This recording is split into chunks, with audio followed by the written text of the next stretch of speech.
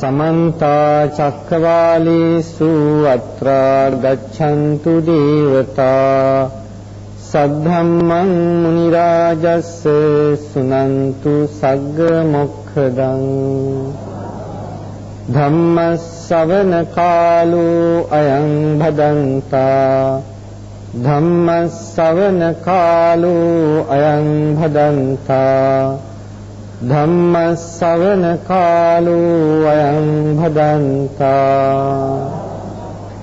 නමෝ තස්ස භගවතු අරහතු සම්මා සම්බුද්දස්ස.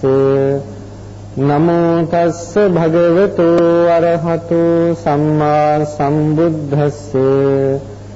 නමෝ තස්ස භගවතු අරහතු සම්මා සම්බුද්දස්ස. ඒතතුම් හි කාලාමා මා අනුස්සවේන මායිති කිරාය. මා පරම්පරාය මා පිටක සම්පදානීන මා තක්ඛ හේතු මා ණය හේතු. මා ආකාර පරිවිතක්ඛේන මා දිට්ඨි නිජ්ජානක්ඛන්තියා මා භබ්බ රූපතාය මා සෝගරුති යදා තුම්හි කාලාමා අත්තනාවචානියාත. ඉමේ ධම්මා කුසලා ඉමේ ධම්මා කුසලාති.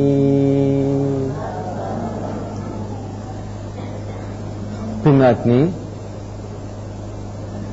නාලන්ද විද්‍යාලීය කනිෂ්ඨ ආදි ශිෂ්‍ය සංගමයේ මෙහිමින් පැවැත්වෙන මෙම ධර්ම දේශනාවේදී මේ පින්නතුන් සෑම දිනාටම බුදුරජාණන් වහන්සේගේ ධම්ම පදයක් මාතෘකා කරලා මෙසේ කරන්ට ලැබුණ අනුශාසනාව පිළිබඳව අපි පළමුවෙන්ම සතුට ප්‍රකාශ කරනවා. ඒ අනුව මේ මාතෘකාව යොදාගත්ත මා හිතනවා බොහෝ බෞද්ධයන් මේ මාතෘකාවෙන් කියවෙන කරුණ පිළිබඳව අහලා ඇති කියලා. මේ සූත්‍ර පාඨය අන්බුතර නිකායේ එන කාලාම සූත්‍රයේ කොටසක්. බුදුරජාණන් වහන්සේ කාලාම වැසියන් නමතා කාලාම වැසියන්ගේ ප්‍රශ්නයකට පිළිතුරු වශයෙන් මේ සූත්‍ර පාඨය දේශනා කළේ. මේ ලෝකයේ නොඑක් නොඑක් දර්ශන තියෙන ඇත්තෝ ඉන්නවා. හැමදාම ඒ ඇත්තන් තම තමන්ගේ දර්ශන ලෝකෙට ප්‍රකාශ කරනවා. මහා ජනතාව කොටසක් දාර්ශනිකයෝ තව කොටසක්. ඥානවන්තයන් හැමදාම විවෘතයි. එක පැත්තකට එල්බගෙන ඉන්නේ නැහැ. දෘෂ්ටි ග්‍රහණය කරගෙන ඉන්නේ නැහැ. එහෙම දෘෂ්ටි ග්‍රහණය කරගෙන හිටියානම් බුදුරජාණන් වහන්සේට බුදුදහමක් පතුරවන්න පුළුවන් කමක් වෙන්නේ නැහැ. මොකද ඊට ඉස්සෙල්ලා නොඑක් දර්ශන තිබුණා. සාමාන්‍ය ඥානවන්ත ජනතාව විවෘත බැවින් සත්‍ය කුමක්ද කියලා සොයාගෙන යනවා. සත්‍ය තේරුම් ගන්නට උත්සාහ ගන්නවා. නිසා බුදුරජාණන් වහන්සේට පහසු වුණා ධර්මයේ දේශනා කරන්නට. අපි තේරුම් ගත යුතු දෙයක් ඒ අවස්ථාවේදී කාලාම වැසියෝ බුදුරජාණන් වහන්සේ ළඟට ඇවිල්ලා ඒ අහපු ප්‍රශ්නය ස්වාමීනි මේ ප්‍රදේශයට දැන් කලකට පෙර ඔබ වහන්සේ වගේම තවත් ආගම් ශාස්ත්‍රවරු ආවා. ඒ ඇවිල්ලා ඕනෝන්ගේ ලබ්ධීන් ප්‍රකාශ කරා. ඕනෝන්ගේ දර්ශන දේශනා කළා. එකම දේශනා කළා බුදුහාමුදුරුවෝ බුදුරජාණන් වහන්සේට මේ කර ඇත්තන් කියනවා දැන් මේ දේශනා කළපු ධර්ම තියෙනවා ඒ හැමදෙනාම මේ ධර්මයන් දේශනා කරනකොට ඒගොල්ලෝ කිව්වේ මේ මම කියන දේ විතරයි හරි අනිත් අය කියන දේවල් ඔක්කොම වැරදි කියලා. ස්වාමීන් හැමදෙනාමත් කියනවා ඒ ඇත්ත කියන දේ හරි කියලා. අපි කොහොමද තීරණය කරන්නේ කවුරු කියන දේ හරිද කවුරු කියන දේ වැරදිද කියලා? බුදුරජාණන් වහන්සේ දේශනා කළේ නෑ මමයි බුද්ධ කියලා කියන්නේ මම කියන දේ හරි කියලා. බුදුරජාණන් වහන්සේ තීරණේ ඒ ඇත්තන්ටම බාර දුන්නා. බාර දීලා කිව්වා ඔබලා තීරණය කරන තීරණයන්ට එළඹෙන අවස්ථා 10ක් මම ප්‍රකාශ කරන්නම්. මේ අවස්ථා 10ෙන්ම නිගමනය ලැබෙන්නට එපා හරි කියා හෝ වැරදි කියා හෝ මා අනුස්සවේන කනින් කනේන ආරංචි මාත්‍රයෙන් පිළිගන්නට එපා නිගමනය කරන්නට එපා මා ඉතිකිරාය සිදුවෙච්ච ආකාරයන් කියන මෙහිමයිලු මෙහිමයිලු උනේ කියලා ඒත් නිගමනය කරන්නට එපා. මා පරම්පරාය අර්ථල මුත්තල කිත්තල කිරිකිත්තලගේ කාලේ ඉඳන් කරගෙන දේ එන දේවල් තියෙනවා චාරිත්‍ර වාරිත්‍ර තියෙනවා පිළිගත් දේවල් තියෙනවා. ඒ වුණත් අද ඒ ආකාරයෙන්ම නිගමනය කර බැස ගන්න අවශ්‍යතාවයක් එපා කියනවා. මා පිටක සම්පදානේන පරම්පරානුගත අවුරුදු ගණන් පැරණි පොත්පත් තියෙනවා. ඒ පොත්පත්වල එහෙම ආවා කිව්වත් ඒත් නිගමනය කරන්න එපා. මා තක්ක හේතු ඔයත්න්ගේ තර්කවලට හරියන්න පුළුවන්. ඒ තර්කය හැම වෙලාවෙම සත්‍ය ප්‍රකාශ කරන්නේ නෑ. ඒකින්ද තර්කානුකූලයි කියලා බාර ගන්නටත් එපා. එහෙම නිගමනය කරන්න එපා. මා ණය හේතු නොඑක් නොඑක් ක්‍රම තියෙනවා. විදි තියෙනවා. ඒ අනුව ක්‍රමානුකූලයි කියලා තීරණය කරන්නටත් එපා. න්‍යායානුකූලයි කියලා තීරණය කරන්නටත් එපා. මා ආකාර පරිවිතක්කේන පරිවිතක්කේන නැවත නැවත විතර්කනේ විතර්ක කරනවා. මේ මේ ආකාරයන්ගෙන් සුන්දරයි කියලා ඒත් නිගමනය කරන්න එපා. මා දිට්ඨි විඥානක්ඛන්තිය තම තමන්ගේ දැසගෙන ඉන්න දෘෂ්ටි තියෙනවා, ගත්ත තීරණ තියෙනවා. ඒ තීරණ හා සැසඳෙනවයි කියලා වුණත් නිගමනය කරන්න එපා. මා භබ්බ රූපතාය කියන පුද්ගලයා දිහා බලන්න එපා. මහා උගතේ මහා කීර්තර පුද්ගලයෙක් මේ ආදී වශයෙන් පුද්ගලයාගේ තරාතිරම් ගැන හිතලා නිගමනය කරන්නත් එපා. මා සමනෝ ගරුති ගරු කළ යුතු ශ්‍රමණයෙක් ගරු කරන්න කාරණා තියෙනවා. බොහොම සිල්වත් තපස්කම් බොහොමයි. වයෝ වෘද්ධයි අවුරුදු 80 90 100 ගත වෙලා ඉන්නවා. මහා පිරිසකට ඇදුරෙක්. මේ ආකාරයෙන් ඉන්න ශ්‍රමණේ පවිද්දෙක් කියයි කියලා උනත් නිගමනය කරන්න එපා.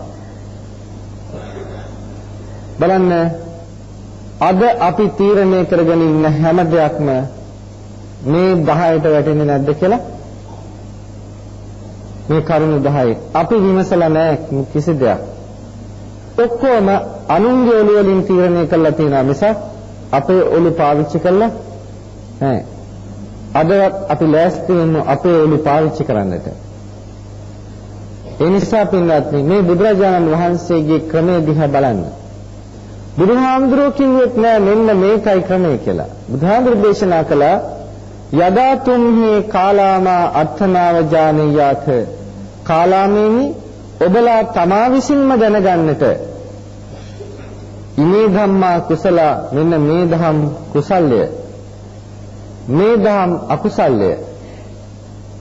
මේ විදිහට කුසල් අකුසල් දෙක දැනගෙන අකුසලය අතහරින්න කුසලය සමාදන් වෙන්නට කුසලයට අනුව කටයුතු කරන්න. ඒත් බුදුහාමුදුරුවෝ තීරණය කරන්න ගියේ නෑ ඒ වෙලාවේදී. අනිත් වෙලාවවලදී බුදුහාමුදුරුවෝ කියලා තියෙනවා කුසල අකුසල් කියන්නේ මොකද්ද කියන එක. හැබැයි මේ වෙලාවේදී කාලාමවශ්‍යන්ට කිව්වේ නෑ මේකයි කුසල් මේකයි අකුසල් කියලා. බුදුරජාණන් වහන්සේ කාලාමවශ්‍යන් අමතලා කියනවා කාලාමේනි? කොහොමද? ඔබ රාගයෙන් රත් වෙච්ච සිතින් යම් කර්මයක් කරනවා නම් ඒක හොඳයිද නරකයිද? මොකද්ද දෙන්න තියෙන උත්තරේ? නරකයි. ඔබලා ද්වේෂයෙන් දුෂ්ට වූ සිතින් යම් කර්මයක් කරනවා නම් හොඳයිද නරකයිද? නරකයි. ඔබලා මෝහයෙන් මුලාවට ගිහිල්ලා හිතන්නේ මතන්නේ නැතුව වැඩ කරනවා නම් එහෙම කරන කර්ම හොඳයිද නරකයිද? නරකයි.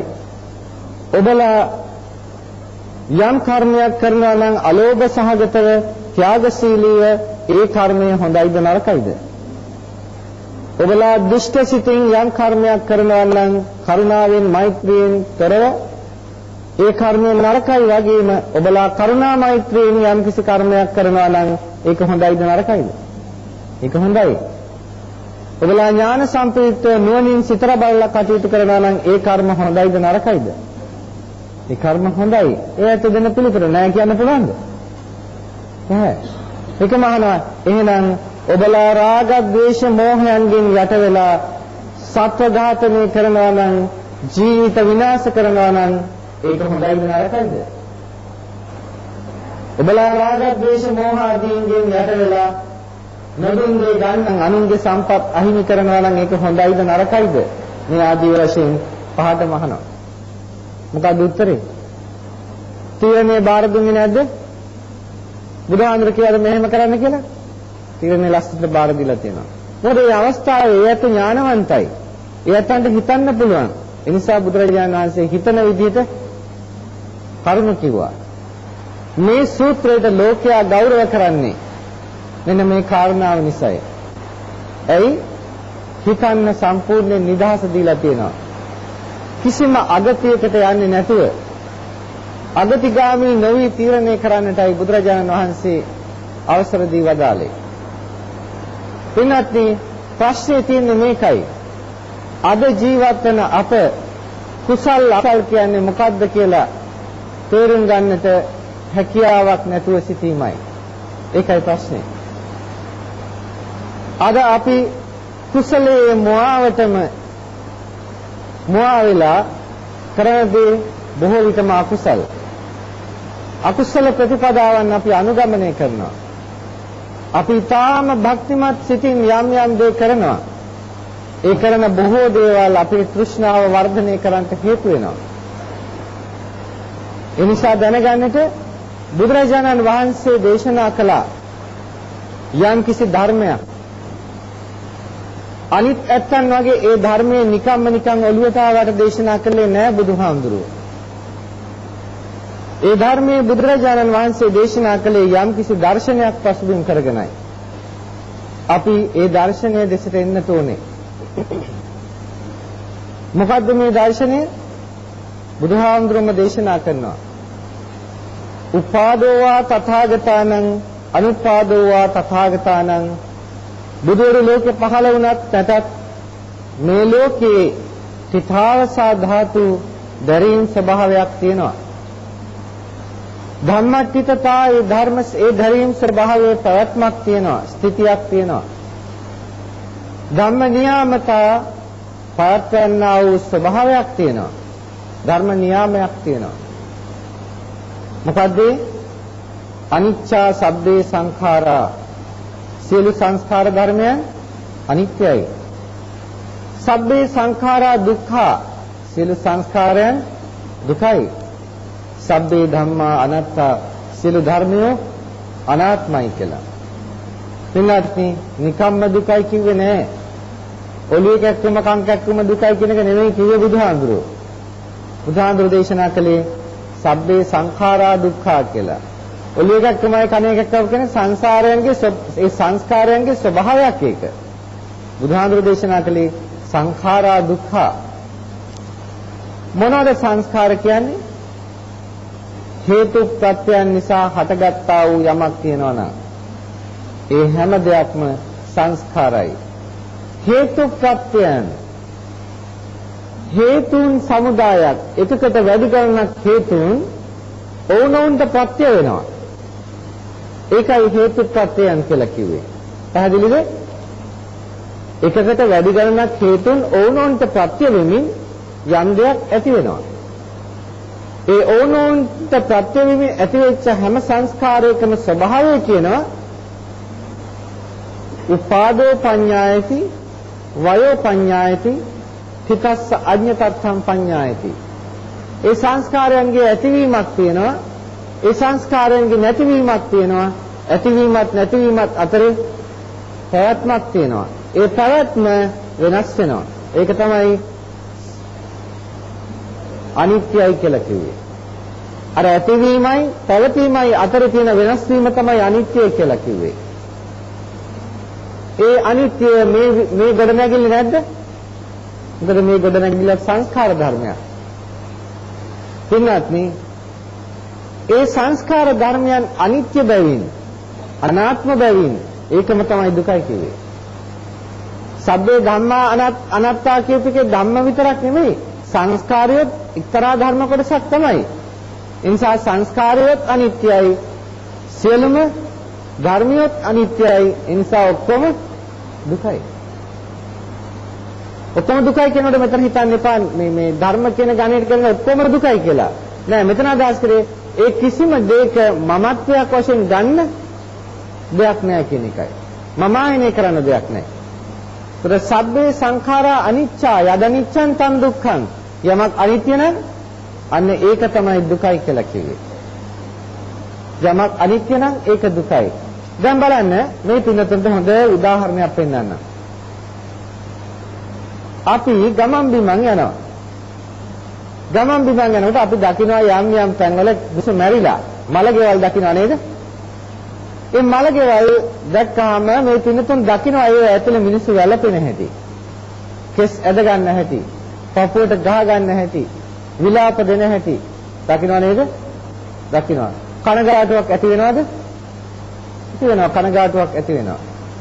ඒ කනගාටුවක් ඇති වෙච්ච වෙලාවකදී ඔය ඇත්තන්ට හිතනවාද අනේ මේ ඇත්ත හරියට දුක් වෙනවා. මමත් පිහිටක් වෙන එක සුදුසුයි මේ වෙලාවේදී. මමත් ගිහිල්ලා පොඩ්ඩක් මේ ගමන අතර දාලා මේ ඇත්තත් එක්කලා එකතු වෙලා පොඩ්ඩක් අඬලා වැළපිලා මේ ඇත්තන්ට සපෝට් එකක් එහෙම දෙන්න ඕනේ කියලා හිතනවාද? මොකද කියන්නේ? ඈ? එහෙම හිතනවා නම් ඒක මහා විශාල මොඩකමක්. ඈ? එහෙම හිතනවා මහා විශාල මොඩකමක්. ඇයි? ඒත් ඇයි? අනිත් පැත්ත සාමාන්‍යයෙන් දුකක් ඇති වෙනවා. දුකක් ඇති වෙනකොට කවුරුත් ගිහලා අතර වැළපෙන්නේ නෑ ඒගොල්ලොත් එක්කලා. ඇයි ඒගොල්ලෝ වැළපෙන්නේ ඇයි? මේ නැති වෙලා තින්නේ ඒගොල්ලන්ගේ කෙනෙක්. මගේ කෙනෙක් නැති වෙච්ච නිසා මට දුක වේදනාව ඇති වෙන්නේ. දැන් ඒ වගේම දැන් හිතන්න සමහරක් අවස්ථාවවලදී ඒ සංස්කාර ධර්මයන් එහෙමයි. ඒ බාහිර සංස්කාරයන් බාහිර සංස්කාරයන් මොකක් කරු වුණාට මට ප්‍රශ්නයක් නෑ. මට ප්‍රශ්න තියෙන්නේ මොන සංස්කාරයෙන් වෙනස් වෙන එකෙන්ද? මට ප්‍රශ්න තියෙන්නේ මගේ සංස්කාර වෙනස් වීමෙන්. මේ රූපය ඇහැ කන නාසය දිව ශරීරය කියන්නේ මේකත් සංස්කාර ගොඩක්. ඇයි මේක සංස්කාරයන් කියන්නේ? මේකත් ඉබේ හටගත්තේ නෑ. එක පැත්තකින් අම්මා අනිත් පැත්තකින් තාත්තා. අම්මයි තාත්තයි දෙන්න හේතු වුණා. හේතු වෙච්චම අම්මයි තාත්තයි දෙන්නගේ එක්තරා ජීව ධාතු කොටසක් මෞකසට ඇතුළු වුණා. ඕනෝන්ට ප්‍රත්‍ය වුණා. ප්‍රත්‍ය වීමෙන් විඥාන ධාතුව කෙල්ප ගැනීම නිසා සත්වයක් වශයෙන් වැඩෙන්න පටන් ගත්තා. දැන් එතන ඉඳන් මොකද වෙන්නේ? සංස්කාරයන්ගේ ස්වභාවය ඇති වෙනවා පවතිනවා නැති වෙනවා. ඒ වෙනස් වීම තමයි මේ වැඩෙනවා කියලා කිව්වේ. ඇවිල්ලා අද මේ தත්වෙටත් ඇවිල්ලා ඉන්නවා. දැන් මේ தත්වයේ තියෙන මේ ඇහැ සංස්කාර ගොඩක්ද? සංස්කාර ගොඩක්ද? ඔව්. එතකොට මේ මගේ ඇහැ සංස්කාර ගොඩක්. මේ ඇහැ වෙනස් වෙනාට මම කැමතිද? මගේ වෙනස දුකක්ද? මට ඔව් ඇහැ වෙනස් වෙනාට දුකයි. මට ප්‍රශ්නයක් තියෙනද අනිත් අයගේ මොන හරි වුණාට? තියනවද? නැහැ. ඒවත් සංස්කාර ගොඩක්. ඒවත් වෙනස් වෙනවා. ඒනොට මට ප්‍රශ්නයක් නැහැ. ඒවා වෙනස් වුණාට මට තියෙන ප්‍රශ්නේ තියෙන්නේ මගේ ඇහැ වෙනස් වුණා නම්. පින්වත්නි දැන් මේ ඇහැ වෙනස් වුණා මට ප්‍රශ්නයක් උනේ ඇයි? මේක මගේ කියලා කෘෂ්ණාවෙන් ග්‍රහණය කළා. මගේ ඇහැට මෙහෙම වෙනවා. ඒකට මම කැමති නෑ.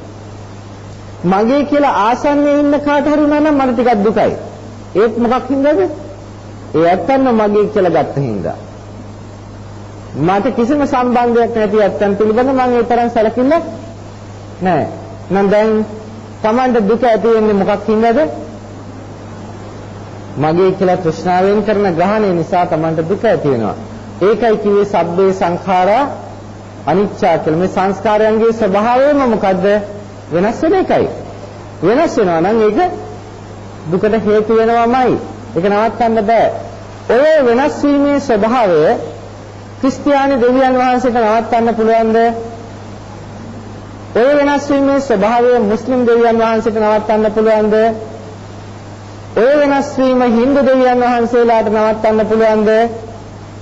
ඔය වෙනස් වීම බුදුහාමුදුරන් නවත්තන්න පුළුවන්ද? බෑ.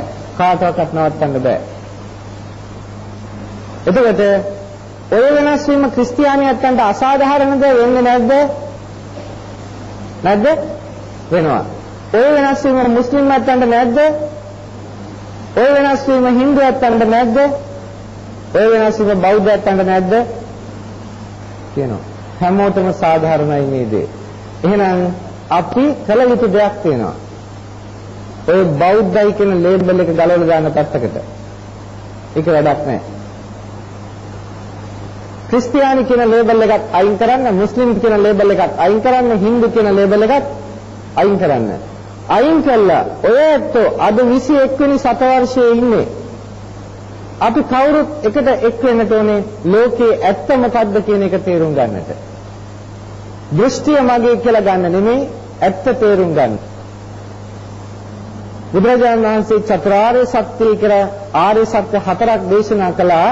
ඒ ආර්ය සත්‍ය හතර කොයිම කෙනෙකුටවත් කියන්න බෑ මේක හතරක් නෙමෙයි ඔක තුනයි තියෙන්නේ කියලා. කාටවත් කියන්න බෑ ඔක හතරක් නෙමෙයි පහක් තියෙනවායි කියලා. ඔක හතරම තමයි. පැහැදිලි කරලා පෙන්නවා කාටවත් පිළිගන්න වෙනවා වෙනස් වෙනවා නම් අනිත්‍ය නම් දුකයි කියලා. දැන් ඒ දුකට හේතුවක් තියෙනවා. මොකද්ද හේතුව? මගේ කියලා ග්‍රහණය කිරීම තෘෂ්ණාවෙන්. දුකට හේතුවක් තියෙනවා. එහෙනම් දුක නැති කරන්න බැරිද? දුක නැති කරන්න පුළුවන්. හේතුව නැති කළා නම් දුක නැති වෙනවා. ඒක ਸਰව සාධාරණයි. බුදුහාමුදුර කරේ දුක නැති කරන්න මඟ මේකයි කියලා ප්‍රකාශ කළා. මඟ මොකද්ද? තණ්හාව නැති කිරීමේ මඟ. ඔය ඇත්ත දැන් හොඳටම දන්නවා මේ ඇහැ මගේ නෙමෙයි කියලා. දන්නව නේද? මේ ඇහැ අනිත්‍යයි කියලා දන්නව නේද? නමුත් ඔය ඇත්තන්ට තවම ඇහැ පිළිබඳ තෘෂ්ණාව නැති වෙලා නැහැ. ඒ එක දැනීමක්. ඕක තමයි පාදක කරගන්න ඕනේ ඒ දැනීම අවබෝධයට යන්න. යම් විදියකින් Tamanගේ බුද්ධිය මෙහෙवला Taman අවබෝධ කරගත්තා නම් මේ ඇහැ මගේ නෙමෙයි මේක මට අයිති නෑ මේකේ මං ඇලීම තේරුමක් නෑ කියලා. අන්න එදාට තමයි කියන්නේ නිවන් දැක්කා කියලා. නිවන් දකින්නකල් ඕකේ ස්වභාවය කියන්න පුළුවන් කම නෑ. හැබැයි එතකල් යන්න හිතන්න මාර්ගය තියෙන ඕනෑම කෙනෙකුට. ඒ නිසා පින්වත්නි බුදුදහම කොයිතරම් විශ්ව සාධාරණීය ධර්මයක්ද කියලා කල්පනා කරලා බලන්න. බුදුරජාණන් වහන්සේ දුකින් මිදෙන මඟ කියලා කිව්වේ තණ්හාව දුරු කරන එකයි. තණ්හාව දුරු කිරීම සඳහා තමයි කුසලය බාර ගන්න කියලා කිව්වේ. යම් කිසි ක්‍රියාවක් ඔයත් සිද්ධ කරනවා නම් අකුසල් යටපත් වෙලා, ඒ කියන්නේ තෘෂ්ණාව අඩු වෙන්නට ඒක තමයි කුසල කර්මය කියලා කියන්නේ. යම් කිසි කර්මයක් කරනකොට තෘෂ්ණාව වර්ධනය වෙනවා නම් ඒකට කියනවා මොන කර්මයක් කියලාද? අකුසල කර්ම කියලා. බුදුහාමුදුරේ දේශනා කරනවා යං අලෝභ පකතං කම්මං අලෝභජං අලෝභ සමුදයං තං කම්මං කුසලං අලෝභ අදෝස අමෝහ මුල් කළ යම් කර්ම සිද්ධ වෙනවා නම් ඒ කර්ම කුසල්ය සංකම්මං සුඛ විපාකං. ඒ කර්මය තමයි සැප විපාක දෙන්නේ. මොන කර්මයේද? කුසල කර්මය. අලෝභ අදේශ අමෝහ චේතනා සහගත කර්මයයි කුසල කර්මය කියන්නේ. ඒක තමයි සැප විපාක දෙන්නේ. ඒ නිවන් සුව නෙමෙයි. ඒ කිව්වේ අස්කන් නාසාදී ඉඳුරන් පිනවීමේ සැපය. හැබැයි ඒකම කියනවා සංකම්මං කම්ම නිරෝධාය සංවත්තති. ඒ කර්මය කර්ම නිරෝධය පිණිස හේතු වෙනවා කියලා. කර්ම නිරෝධය කියලා කිව්වේ නිර්වාණයයි. ඒක නිවන් දකින්නත් මොන කර්මයේද? කුසල කර්මය. සැප විඳින්නත් මොන කර්මයේද? කුසල කර්මය. බෞද්ධ පුවත්පතක සඳහන් වෙලා තිබුණා එක මහත්මයෙක් කියලා මේ හැම සැපක්ම ලබන්න බෑ කුසල් වලින් කුසල් ලබන්න වෙන වෙන ක්‍රමක් තියෙන මේ සැප ලබන්න වෙන වෙනමක් තියෙනවා කියලා. බුදුහාමුදුරේ දේශනා කරනවා කම්මං සත්‍යේ විභජති යදිදං හීනප්පනීතතාය. ඒ මහත්මයාව පිළිගන්නවද නැත්නම් බුදුහාමුදුර පිළිගන්නවද කියලා තේරුම් කරගන්නට. බුදුහාමුදුර දේශනා කරන්නේ සත්‍යාව සැප දුක් ලැබීම වශයෙන් වෙන් කරන්නේ කර්මයයි කියලා. සියල්ල කර්මයෙන් වෙනව නෙමෙයි ඒ සැප දුක් ලැබීම නම් ස්ථිර වශයෙන්ම කර්මයේ හේතු කොටගෙනයි සිද්ධ වෙන්නේ. හැබැයි වරද්දගෙන තියෙන්නේ මේ ඔක්කොම කර්ම ඉස්සරහාත්මේ වෙයි කියන එකයි. දැන් මේ පුතාලා ඉන්නවා. මේ පුතාලට අම්මලා තාත්තලා මහන්සි වෙනවද උගන්වන්න? මහන්සි වෙනවද? ඔව් හුඟක් මහන්සි වෙනවා. ඉතින් පුතාලා නිතර නිතර ටෙලිවිෂන් එක දිහා බල බලා ඉන්නවා. පුතාලා නිතර නිතර ක්‍රිකට් ගහන්නට තමයි මහන්සි වෙන්නේ. අම්මයි තාත්තයි කෑ ගන්නවා පුතේ පාඩම් කරන්න පාඩම් කරන්න පාඩම් කරන්න කියලා. අම්මා තාත්තා දෙපාරක් කිව්වොත් තරහ යන්නේ නැද්ද? තරහ යන්නේ නැද්ද? මොකද අම්මලා කියන්නේ පුතාලා දුවත් තරහ යන්නේ නැද්ද? තරහ යනවා. තරහා ගිල රවලා බලන්නේ නැද්ද? රවලත් බලනවා. බලන්න මෝඩකමද ගිහිල්ලා පවුත් පුරව ගන්නවා මෙතන. ඕක විතරක් නෙවෙයි වෙන්නේ. අරව කළ කළ පුළුවන් ද ඉගෙන ගන්න? පුළුවන්ද? ටීවී එකේ විභාගේ පාස් කරයිද? ටීවී එක වැරදි විදිහට පාවිච්චි කරනවා නම් ඒක විතර කාලකන්ණි පෙට්ටියක් තවත් නැහැ. වැරදි විදිහට පාවිච්චි කරනවා නම් හරියට පාවිච්චි කරොත් ඒකෙන් හුඟ ගන්න පුළුවන්. ඒකෙන්ද අපේ දරුවෝ හුඟක් පරිස්සම් වෙන්න ඕනේ කාලේ කාදාන්නේ නැතුව ටීවී එක පාවිච්චි කරන්න. දැන් මොකද වෙන්නේ? බලන්න මේ මෝඩ දරුවෝ ටික මේකට වැටලා වැටලා ඉඳලා. හැබැයි ඔය අතරේ ඉගෙන හිමින් හිමින් ඉගෙන ගන්නවා මොන හරි. විභාගات පාස් වෙනවා. ඒ වුණාට සාර්ථකද? නෑ සාර්ථක වෙන්නේ නෑ. ඉතින් ලොකු වෙනද ලොකු වෙනට ආසාවලුත් ඇති වෙනවා කසාදත් බඳිනවා. කසාද බඳාම ඉතින් දරුවෙක් වැඩිමුණක් දෙන්නෙක් ඉදි. ඊට වැඩිය නෑ. ඉතින් නමුත් ඒ වුණත් සපයිද ජීවිතේ? සපයිද? නෑ. ජීවිතේ සප නෑ. ඇයි සප නැත්තේ? හරියට ආසාවක් නෑ. හරියට ආදායම් මාර්ග නෑ මොකද ඒ වඩ සුදුසු පරිදි Taman සකස් වෙන්නේ නෑ. දැන් ඉතින් ඕම දුක් විඳිනකොට කියනවා මොනව කරන්නද ඉතින් අපි ලබා උපන් හැටි තමයි අපේ කර්මය තමයි මේක. කියන්නේ දෙදාද? මේ කතා කරන්නේ කවද කර්ම ගැනද? මේ කතා කරන්නේ ඉස්සර ආත්මේ කරපු කර්ම ගැන. නමුත් කර්මේ කරවගත්ත කවද්ද? දැන් මෙතෙන්දි මේ කම්මැලි කම නෙවෙයිද කර්මේ? ඒක තමයි කර්මේ. දැනගන්න මොකද්ද මේ කරන්නේ කියලා. ඒකෙන්ද දුවල පුතාලා හරියට මහන්සි වෙන්න ඕනේ. ඒ වගේම අපේ දුවල පුතාලා දැනගන්න ඔය ඇත්තන්ට මේ රටේ අනාගතයක් නැහැ කියලා. විශේෂයෙන්ම ඉස්ලා බෞද්ධ දරුවන්ට. අයි බෞද්ධ පැත්තකින් දාලා සිංහලයි කියලාම ගමු. සිංහල දරුවන්ට. බලන්න ලංකාවේ 80ක් විතර දරුවන්ට මුස්ලිම් දෙමළ දරුවන්ට ඉංග්‍රීසි පුළුවන් සිංහලත් පුළුවන් දෙමළත් පුළුවන් නේ කොහොමද සිංහල දරුවන්ට 80ක් විතර ඉංග්‍රීසි පුළුවන්ද? බෑ. දෙමළ පුළුවන්ද? ඒක කොහොමදත් බෑ. සිංහල කොහොමද? ඈ? ඔන්න මම නෙවෙයි බෑ කියන්නේ ඔය ඇත්තමයි ආ එහෙමද? ඔය ඇත්ත දන්නවා මට වැඩිය හොඳට. කතා කරන භාෂාව හින්දා නමුත් ලියන්න බෑ. මොකද්ද අපේ අධ්‍යාපනය කියලා කියන්නේ? අපේ දරුවන්ට ලැබෙන? ඔයත් හිතන්නේ මට ලැබෙන අධ්‍යාපනය කියන්නේ මේ ඒ හතරක් ගන්නවා කියන එකද? උපාධිය අරගෙන එළියට එනවා කියන එකද? උපාධිය අරගෙන එළියට ආවට මොකක් කරන්න හැකියාවක් නැත්තම් මොකද අනාගතය සකස් කරන්න රැකියාවක් කරන්න තියෙන එකම සුදුසුකම උපාධියේද නෑ. ලංකාව පුංචි රටක් වුණාට ලෝකය හා සම්බන්ධයි. ඒක නිසා දැනගන්න ලෝක භාෂාව අපි දැනගෙන තියෙන්න ඕනේ. නැත්තම් ලෝකයේත් එක්ක සම්බන්ධ ආයතනවල රැකියාව කරන්න හම්බ වෙන්නේ නෑ. නමුත් දැන් හිතන්න ඒ තැන්වල උසස් රැකියාවල් වලට එන්නේ කවුද කියලා. ඊගාවට. එතකොට ඒගොල්ලෝ ඒගොල්ලන් ඉරිෂා කරනවද? නෑ අපේ බෞද්ධයන්ට ඉරිෂා කරන්න හේතුවක් නෑ කාටවත් දිනු වෙනවට. කාගේවත් දිනුව බලලා. අපිට කවදා හරි පස් කාලා මැරෙන්න සිද්ධ වෙනවා අපේ ඇත්තෝ මේ කරන මහා හානියට මේ විනාශයට. විශේෂයෙන්ම දැනගන්න අද මෙතන මේ ස්ථානය දිහා බලනකොට අපේ අඩුව හොඳට පේනවා. හා හොඳට පේනවා. මේ අම්මලා මේ ඉන්නේ. මේ පිරිස ඔක්කොම. කො තාත්තලා ඔයගලන්ගේ. කො තාත්තලා ඔයගලන්ගේ. ඒගොල්ලෝ තමයි බණ අහන්න ඕනේ. ඒගොල්ලෝ තමයි මේ પરම්පරාව විනාශ කරන්න ඇත්තෝ. අම්මලා නෙමෙයි. ඒගොල්ලන්ගේ කාලකන්ණි මත්පැන් බීමත්, කාලකන්ණි සිගරට් බීමත් නිසා තමයි මේ ජාතිය විනාශ වෙලා යන්නේ. වෙන කිසිම කාරණයක් නැහැ. ඒක බුදුහාමුදුරන්ගේ දේශනාවයි. මත්පැන් බොනවා කියනවා නම් සම්පූර්ණයෙන්ම ධන විනාශයේ දොරටු ඔක්කොම විවෘතයි. මත්පැන් බොනවා කියන කෙනාට සම්දිත්තිකා ධන ජානි කියලා දේශනා කළා මේ ආත්ම භාවයේදීම මහා ධනස්කන්ධයක් විනාශ වෙනවා කියලා. එන්නත් 70%කටත් වැඩිය ලංකාවේ සිංහලයෝ මත්පැන් බොන ඇත්තෝ ඉන්නේ තාත්තලාගෙන්. ඒ කියන්නේ 70%කට වැඩිය පවුල් ආර්ථික වශයෙන් ප්‍රපාතයට ඇදගෙන වැටිලා තියෙන්නේ.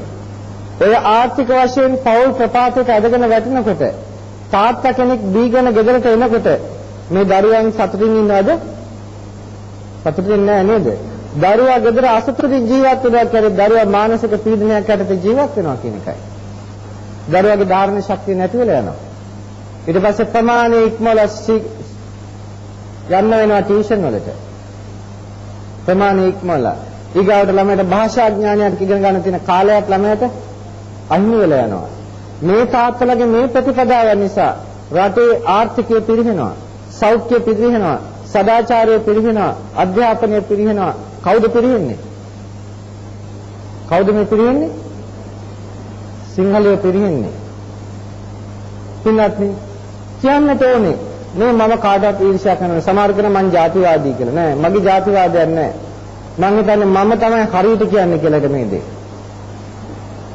හැමෝටම ජාතියක් තියෙනවා එක්කෙනෙකුට විතරක් නෙමෙයි අපිට විතරක් නැතුව නෙමෙයි හැමෝටම ජාතියක් තියෙනවා අපේ ඇත්තෝ මොකද කරන්නේ මං උසස් අනිත් අය පහත් කියලා අනිත් අය පහත් කරනවා අන්න ඒකයි ජාතිවාදය කියන්නේ අනිත් අයගේ සම්පතේ මේ පැතිලේ ඊර්ෂ්‍යා කරනවා දැන් සමහර දෙනා අපිට කියනවා හාමුදුරනේ බලන්නකො මේ පැත්තේ ඔක්කොම මේ මුස්ලිම් අයනේ පදිංචි වෙන්නේ. කියන්නේ නැද්ද යත්තන්ට? මේ දැනුත් ඇවිල්ලා කිව්වා කෙනෙක්. මුස්ලිම් අයත් පදිංචි වෙනවා කියලා. මට දෙන්න තියෙන උත්තරේ නම් ඉතින් මොකෝ? මුස්ලිම් අය පදිංචි වෙච්චාම. ඒ අත මේ රටේ ජනතාවක් නෙමෙයිද? නෙමෙයිද? මේ රටේ. ඒ අත දරුවෝ හදන්නේ මේ රටේ නෙමෙයිද? ඒ ඇත්තන්ගේ ಜಾති වර්ධනය වලට ඒ ඇත්තන් මූදට තල්ලු වෙන්නේ නැද්ද කියන්නේ? පින්වත්නි, ඒ ඇත්තෝ දුම් මත්පැන් පානයන්ගෙන් බොහෝ විට තොරයි, විශේෂයෙන්ම මත්පැන් පානයෙන් තොරයි. මොනවා හරි කළා හම්බ කරනවා. ඒ ඇත්තෝ හම්බ කරන කිසිම සතයක්වත් ඒ ඇත්තෝ විනාශ කරන්නේ නෑ. ඒ නිසා ඒවට ಜಾති වර්ධනය කරන්න ධනෙ තියෙනවා. ඒත් ಜಾති වර්ධනය කරනවා. අපේ ඇත්ත ಜಾති වනසනවා. අපේ ಜಾති අඩු වෙන යනකොට මොකද වෙන්නේ? හැම අතින්ම තියෙනකොට අර ඇත්තන්ට පදිංචි වෙන තැන් හොයාගන්නට සිද්ධ වෙනවා. අපේ ඇත්ත කවුරු පදිංචි වෙනද අපේ? අපේ ಜಾති වන්දල යනකොට. කවුද මේක කරන්නේ? ඒ තාත්තලා. දිනක් සිගරට් බොනවා නම් සිගරට් එකක් හරි බොනවා නම් මත්පැන් බොනවා නම් දැනගන්න ඔබ කරන්නේ මුළු ජාතියටම ද්‍රෝහී ක්‍රියාවක් කියලා.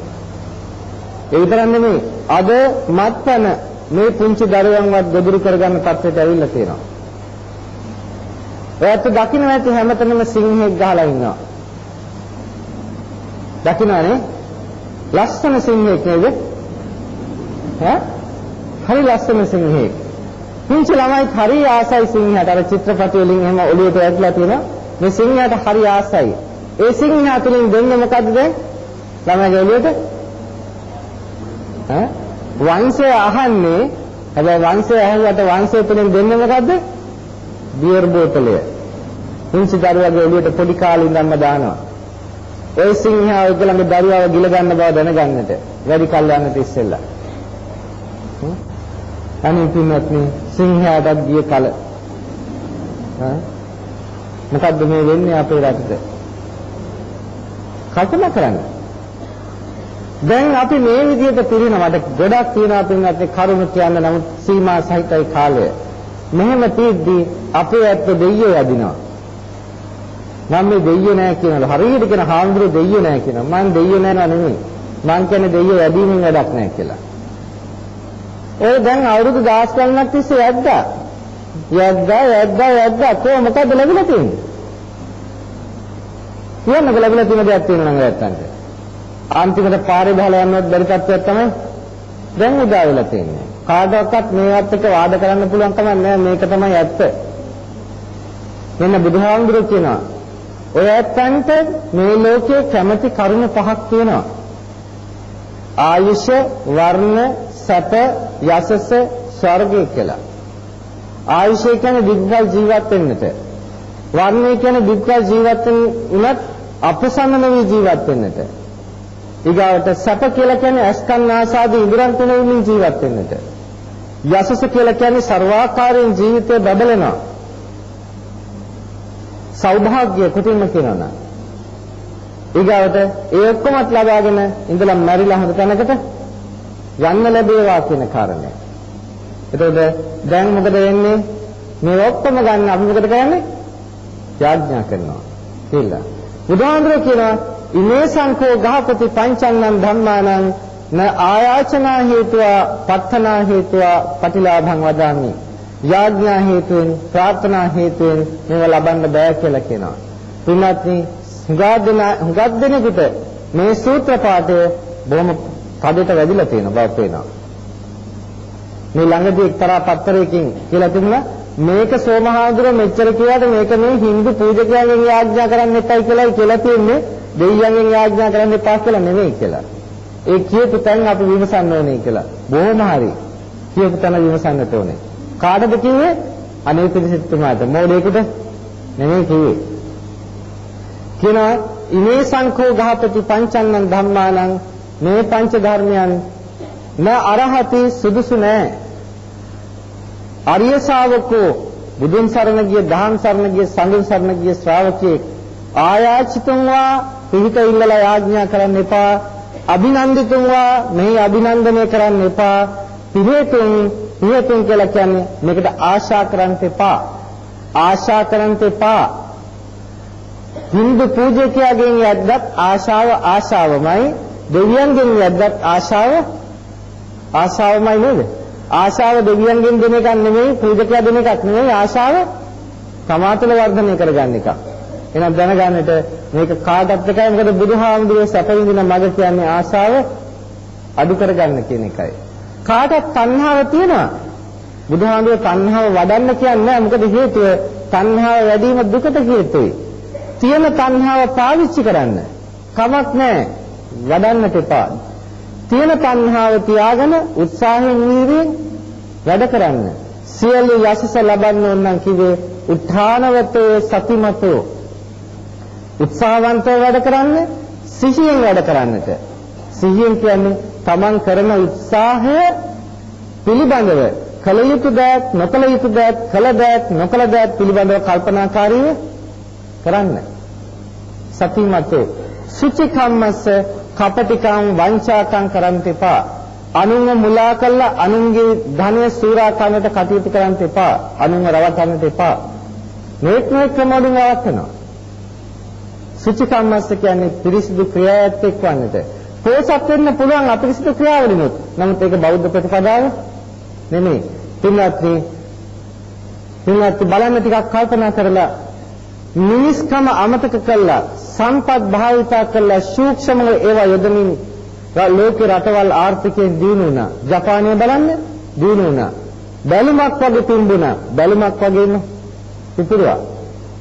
මොකද උනේ කොරියාවට මොකද උනේ ඉන්දුනීසියාවට කල්පනා කළා බලන්න ඔයාදී පිරිහෙමින් තියෙන රටවල් තවත් තියෙනවා. ඇයි? මිනිස්කම පැත්තකට දාලා යන ගමනේ. බෞද්ධ ආර්ථික ක්‍රමයේ කරන්නේ මිනිස්කමත් රැකගෙන යන ක්‍රමයක්. විග්‍රහ කරන්න කාලයක් නෑ. පංචශීලය ඇතුළේ මේක ඔක්කොම තියෙනවා. සුචිකම්මස්ස කියන එක මේ ඔක්කොම තියෙනවා. නිසන්නකාරිනෝ යාඥා කර කර ඉඳලා ධනවත් වෙන්නවත් සැප ලබන්නවත් බෑ. ටිකක් හොයලා බලලා විමසින්නේ වැඩ කරන්නට. නිසන්නකාරිනෝ සංයතස්සච ඉන්ද්‍රයන්ගේ පාලනයක් තියාගන්න. ඉන්ද්‍රයන්ගේ පාලනයක් ඇතුව කාටවත් දිනු වෙන්න පුළුවන් කමක් නැහැ ධම්මජීවිනෝ ඔයයන්ගේ ක්‍රියාකලාපයන් අනුන්ට විපත පිණිස තමන්ට විපත පිණිස පවත්වන්නට සැප විඳින්න ඕන තරම් කමක් නැහැ. කවුරු හරි විඳින සැපේ ඔයයන්ට දුකක් පිණිස පවතිනවා නම් ඒ සැපේ අනුමතයිද? නෑ. ඒ නිසා සැප විඳින්න අනුන්ට දුකක් නොවන විදිහට. එතකොට ඒක කැපයි. ඒකට තමයි පංච සුචරිතය තියෙන්නේ. දුස්චරිතෙන් වැළකීලා සුචරිතය වඩන්න. ධම්මං චරේ සුචරිතං සුචරිතේ හැසිරෙන්න නැත්නම් දුච්චරිතං චරේ දුරාචාරයේ හැසිරෙන්න එපා. ධම්මචාරී සුඛංසේති එයා සැපසේ වාසය කරනවා. අස්මින් ලෝකේ මේ ලෝකේ පරම්මිච පරලෝකේ අන්න සැප ලබන මඟ කිව්වා විශ්ව දෙවියන්ට ආඥා කළා කතරගම දෙවියන්ට ආඥා කළා සායි බාබාට ආඥා කළා ඊගාවට සරස්වතීට ආඥා කළා ඊශ්වරට ආඥා කළා ලක්ෂ්මීට ආඥා කළා කාටවත් සැප ලබන්න පුළුවන් වෙන්නේ නැහැ කියලා දැනගන්නට මේ බුදුහාමුදුරුවෝ කියපු ක්‍රියාදාමය පිළිපදින්නේ නැතුව දෙන්න එපා ඔය ඇත්තන්ගේ දූ පුතුන්ට යදින්නම් වෙන්නට. දෙන්න එපා ඔය ඇත්තන්ගේ දූ පුතුන්ට කොන්ද පණ නැති හිඟන්නම් වෙන්නට. අද ඒ තත්ත්වයට අපි වැටලා තියෙනවා. ඒකෙන් පිරිසක් ඉඳගෙන අපිව හුරා කරනවා. මම පැහැදිලි කළා බුදුහාමුදුරුවෝ දේශනා කරන ධහම මොකද්ද කියලා. ඒ දරුවන්ට ආත්ම ශක්තියෙන් නැගී සිටින්න උගන්වන්නට ඒ දරුවන්ට කොන්ද පණ ඇති දරුවෝ ටිකක් වශයෙන් ඉස්සරහට එන්න උගන්වන්න. පුතා ඔයාගේ වැඩේ තියෙන්නේ. දුව ඔයාගේ අතේ වැඩේ තියෙන්නේ. ඔයා උත්සාහවන්ත වෙන්නට. ඔයාට ආශිර්වාදයක් ලබන්න පුළුවන්. ආශිර්වාදයක් තමන්ගේ පිරිසිදු චරිතය තුළයි තියෙන්නේ. දෙවියෙකුගේ හරි ආශිර්වාදයක් ලබන්න නම් ඒ පුද්ගලයා මිනිසෙක් වෙන්න ඕනේ. පින්වත්නි සක්‍ර දේවේන්ද්‍රයත් වඳිනවලු සිල්වත් මිනිසයාට. එහෙනම් එතනින් මෙහා ඉන්න කවුරු ගැන කතාවක්ද? මේ ලෝකෙ ඔක්කොම ආගම් උගන්වන්නේ ඔබ කාටවත් වඳින්න එපා දෙවියන්ට විතරයි ඔබට වඳින්න පුළුවන්. බුදුහාමුදුරුවෝ උගන්වන්නේ ඔබ කාටවත් වඳින්න එපා මොන දෙයියෙකුටවත් වඳින්න එපා. වඳින්න ඔබේ අම්මයි තාත්තයි දෙන්නට ඒගොල්ලෝ තමයි බ්‍රහ්මයෝ. බුදුහාමුදුරුවෝ උගන්වන්නේ පින්වත්නි ඔබට වෙන කිසි පිහිටක් නැහැ. අත්තාහි අත්තනෝ නාථෝ ඔබට ඔබේ පිහිටයි. අනිත් අයගෙන් ඔබ ඔබ සකස් වෙනකොට අනිත් කෙනෙකුගේ ආශිර්වාදයක් ලැබෙවි ඔබට පිහිටක් වුණා නම් වෙන කවුරුත් නැහැ ඔබේ අම්මයි තාත්තයි විතරයි පිහිට වෙලා තින්නේ. බලන්න ඒ ඇත්ත දිහා. අම්මා තාත්තා ගැන බලන්නේ සමහරකට නම් සායි බාබාගේ උපන්දිනේට එහි සමහරකට අවුරුදු 5 කතරගම දුවනවා. ඉදිර ඉන්න අම්මයි තාත්තයි බ්‍රහ්ම දෙන්න බලාගන්න අම්මයි තාත්තයි දිහා පොඩ්ඩක්. ඒ අම්මා තාත්තට දෙන්නට උපස්ථාන කරන්න ගිහිල්ලා ඊළාතේ සිල්වත් අම්මෙකුට තාත්තෙකුට සිල්වත් දරුවෙක් උපස්ථාන කරනවා නම් ඒ දරුවාට මේ ආත්ම භාවයේදීම එහි ආනිසංස ලැබෙනවා. ඒකයි කිව්වේ ආහු නෙය්‍යාච පුත්තානං කියලා. අම්මගේ තාත්තගේ ගුණ වර්ණනට ගිහිල්ලා. මේ தත්ත්වය බුදුරජාණන් වහන්සේ දේශනා කළේ. අපි මේ කොහෙද යන්නේ? පින්වත්නි මෙන්න මේ ටික මම විනාඩියකින් කියලා මේ ධර්ම දේශනාව අවසන් කරනවා. අපි දෙයියෝ යදිනවා. අපේ දෙවියෝ සක්‍ර දේවේන්ද්‍රයෝ. අපේ දෙවියෝ සතරවරන් දෙවියෝ. ඔය කවුරක්වත් ඒ ඇත්තන්ට පුද පූජා තියනවද? තියනවද? නෑ එහෙනම් ඔය ඇත්තන්ට වැරදිලා තියෙන බව පේනව නේද කොහේ හරි? Hindu දේවාලයට ගියත් ලංකාවේ Hindu දේවාලයට ගියත් ඉන්දියාවේ ලංකාවේ අපි ගියොත් එහෙම ලංකාවේ දේවාලයට පන්සලේ මේ තුනේම ඉන්න එකම විශ්ණු දෙවියෝයි මොන විශ්ණු දෙවියද කෝවිල් දෙවිය පන්සල් ආවද පන්සලේ දෙවිය කෝවිල් ගියාද ඔයත් තීරණය කරගන්න. විශ්ව බලන්න මේ ලෝකේ තියෙන බුද්ධ ආගම එක දර්ශනයක්. හින්දු ආගම තව ආගමක්. මුස්ලිම් ආගම තව ආගමක්. ක්‍රිස්තියානි ආගම තව ආගමක්. අපි කෑ ගහනවා ලොකුවට මෙන්න ක්‍රිස්තියානි වෙනවා කියලා. කෑ ගහනවා ලොකුවට මෙන්න මුස්ලිම් වෙනවා කියලා. ඇයි කෑ ගහන්නේ නැත්නම් මෙන්න හින්දු වෙනවා කියලා? ඇයි බෞද්ධ කෑ ගහන්නේ නැත්නම් හින්දු වෙනවා කියලා? මම තව ප්‍රශ්නයක් අහනවා. අපේ උගතුන් පොත්පත් ලියනවා ලෝකෙට පොත්පත් ලියනවා ලෝකෙට බෞද්ධ ලෝකයට ඉංග්‍රීසියෙන් පොත් ලියනවා උගතුන්ට ලියන්නේ ඇයි ඒ මේ අපි ලංකාවේ හොඳ බෞද්ධයෝ ඉන්නේ? ඔය පොත්පත්වල ඇයි ලියන්නේ නැත්තේ? මේ බුද්ධ ආගමට මෙහෙම දේව සංකල්පයකුත් තියෙනවා. මෙහෙම වැඩිමකින් ඔයත්තන්ට ශාන්තියක් කරගන්නත් පුළුවන් කියලා. ඇයි මේ පොත්පත්වල ලියන්නේ නැත්තේ? තියනවාද එක පොතක? ඉංග්‍රීසියෙන් ලියන එක පොතකත් විශ්ණු දෙවියෝ ගැන ලියලා තියනවාද? කතරගම දෙවියෝ ලියලා තියනවාද? ලක්ෂ්මී ගැන ලියලා තියනවාද? යදින මොන දෙවියෙක් හරි ගැන ලියලා තියනවාද? ඇයි ලියන්නේ නැත්තේ? අපි දන්නවා බුද්ධ ආගමට එකඟ නැහැ කියලා. අපි දන්නවා ලෝකයට ඒක දුන්නොත් අපි සමච්චලයට ලක් වෙනවා කියලා. අද අපි කරන්නේ මේවෙන් බඩ වඩා ගැනීමක් අරන්ට වෙන එකක් නෙමෙයි. අන්තිමට වෙන්නේ අපේ බුද්ධ ආගම මුළු ලංකා පොළොවේම අතුගෑවිලා යනවා කියන එකයි. අදත් බෞද්ධ නාමයෙන් සිටියට බලන්න පන්සිල් රකින්නත් කී දෙනෙක් ඉන්නවද කියලා. මම දන්නවා මෙතන අත උස්සන්න කිව්වොත් එහෙම මම හිතන්නේ 105ක්වත් හොයාගන්න පුළුවන් කියලා පන්සිල් රකින්න අය. කියනවාද අපේ රට බුද්ධ ආගමයි කියලා? ලෝකයේ මත්පැන් දීලා ඉහළම ආදායම් ලබපු රට ඉහළම ප්‍රතිශතයක් වශයෙන් මත්පැන් බොන රට කොහෙද? ලංකාව. කියනද ලංකාව බෞද්ධ රටක් කියලා? බෞද්ධ රටක මෙහෙම ලෝකයේ මත්තරින් කොහොමද බෞද්ධ රටක් මේ වාර්තා තියන්නේ? මේක බෞද්ධ රටක්ද? ඒකද අදත් බෞද්ධයෝ නැහැ අපේ රටේ කියලා දැනගන්නට. බෞද්ධයා කියන්නේ ලේබල් ගහපු ගත්තේ කියලා නෙමෙයි. බෞද්ධයා කියලා කියන්නේ මේ ආර්ය අෂ්ටාංගික මාර්ගයේ ක්‍රියාත්මක කරන කෙනෙක්. පින්වත්නි දැන් මේ කාරණා විවසිල්ලෙන් හිතන්න මම මේ විශාල දේශනයක් බොහොම කෙටි කළා මේ කිව්වේ. ඒක නිසා පැය තුනක දේශනයක් මම මේ ඊටාම කෙටි කළා කිව්වේ. කින්ද පොඩ්ඩක් මේක තව විග්‍රහ කළ යැත්තු තීරණය කරගන්න. තීරණය කරගෙන අද අපි යම් කිසි මිත්‍යා ප්‍රතිපදාවක ඉන්නවා නම් වහාම ඔය මිත්‍යා ප්‍රතිපදාවෙන් අයින් වෙලා හොඳට දුස්චරිතයෙන් ඈත් වෙච්ච චරිතය වඩන පිරිසක් වෙන්න ලෑස්ති වෙන්න කර්ම කර්මඵලයේ කෙරෙහි තමන්ගේ විශ්වාසය තියන්න අර කියපු දස ආකාරයෙන් දෘෂ්ටි වලට එල්ලෙන්න ලෑස්ති වෙන්න එපා. කුසල අකුසල දෙක ගැන හිතලා ඒ අනුව තීරණය කරන්න. අගුණ දුර්වලකම් දුරු කරගන්න ගුණ ධර්ම වඩා සිටවා ගන්නට. හැම දිනකටම තෙරුවන් සරණින් සියලු යහපත සැලසේවා ශාන්තියම වේවා කියලා ප්‍රාර්ථනා කරනවා. එත්තාවතා සම්හිහි සම්බදන් පුඤ්ඤ සම්පදං. සබ්බේ දේවානුමෝදන්තු සබ්බ සම්පත්ති සිද්ධියා ඥාතිං පින්දුනි ධම්මේ ඥාතිනං හෝතු සුඛිතා හොන්ති ඥාතියෝ ධම්මේ ඥාතිනං හෝතු සුඛිතා හොන්ති ඥාතියෝ ධම්මේ ඥාතිනං හෝතු සුඛිතා හොන්ති ඥාතියෝ